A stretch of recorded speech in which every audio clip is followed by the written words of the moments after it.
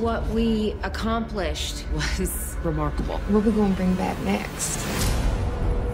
Gonna raise a human body. Join hands. Where's your keys? Jessica, don't just go running off. I can eat who I want. There's a new coven in town. Put Pam on it. You will do it yourself. Who put you up to this? We ain't supposed to talk to you. Your work for me in that circle is done.